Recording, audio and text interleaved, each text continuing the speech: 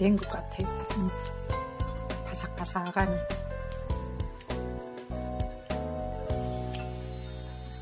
마무리만 하면 되겠죠. 달걀는 알아서 식성대로 하시면 되고 저는 단 거 아무것도 안 했습니다. 아까 저기 설탕 반 스푼 넣었다니까 여기서 음, 참기름하고 깨만 넣으면 끝입니다.